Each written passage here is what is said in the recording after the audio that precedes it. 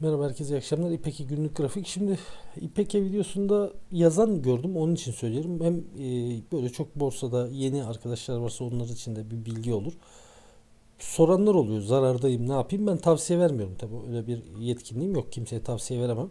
Fakat şunu söyleyebilirim. E, hani yorumlarda görüyorum.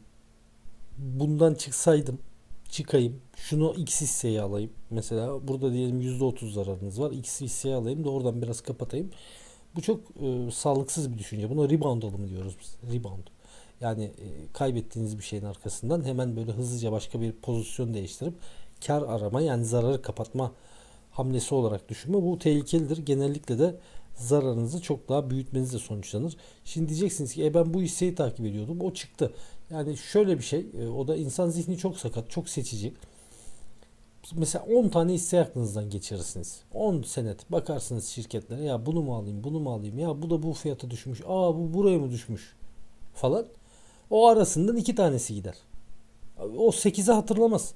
Yani hepimizin zihni sakattır. Ben söyleyeyim açıkçası. O 8'i unutursunuz. O 2'yi tüh alsaydım diye içinizden geçirirsiniz. Ama bunun zar atmaktan çok farkı olmaz açıkçası. Onun için e, yazanlar var yani çok zararı olduğuna dair.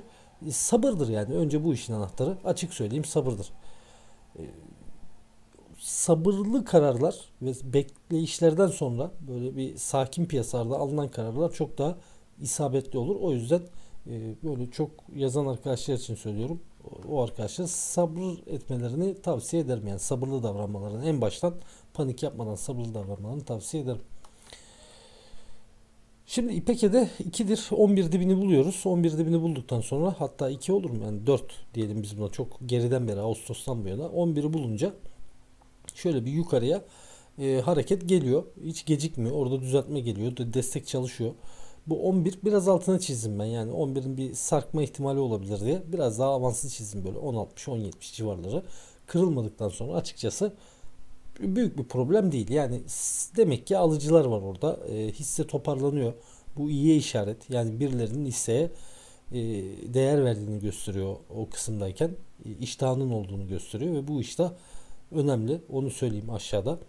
Yukarıda yani bir gidiş var, tepki var. Olumlu da bir tepki. Aslına bakarsanız şimdi yüzdesel anlamda bakarsak e, %6 vermiş, %2.77 vermiş. Bugün 1.47 vermiş. Sorun derseniz sorun şu. Yani e, çok az hacimler. Bu hacimler tamam asıl olan fiyat. Yukarı gidiyor mu? Gidiyor. Hiç itirazım yok ama bu hacimler böyle bir soru işareti yaratıyor. Bu kadar küçük hacimle hareket etmesi inandırıcı hareketin inandırıcılığını azaltır. Yani momentumun düşük olduğunu gösteriyor bir taraftan. Ama yine kıymetli bir bölgede. Onu da söyleyeyim. 12.20'nin üstüne kapattı ikinci kez. E, bu önemli. 12.20'nin üstündeki kapanışlar. Şimdi e, dünkü kapanış baktığınız zaman 12.24. 12.42'de bugün. Altına salmaması lazım. Yani atıyorum onu yarın 12.35'te kapatsın. Önemli değil. Ama 12.20'nin altına salmazsa orada bir cross ihtimali çok yakın şu anda. O cross ihtimali çok yakın. Yani en azından 2-3 gün daha kalabilirse bu seviyelerin üstünde 5.20 kısa vade cross'unu başlatıp bir 13 liraya bir hareket, 13 lira bir direnç bu arada söyleyeyim.